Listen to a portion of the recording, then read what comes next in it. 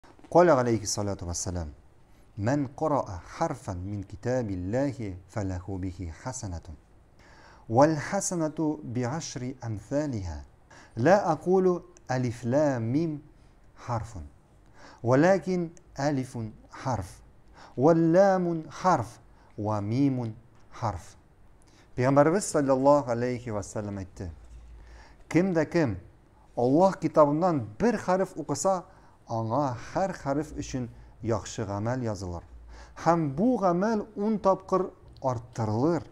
Мин әйтмим, Әлиф, ләм, мим, ул бер хәреф, дип. Әмма Әлиф, хәреф, ләм, хәреф, мим, хәреф.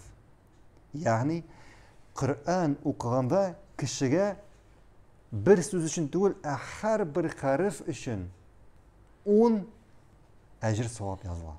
Һәрбер хәреф өчен.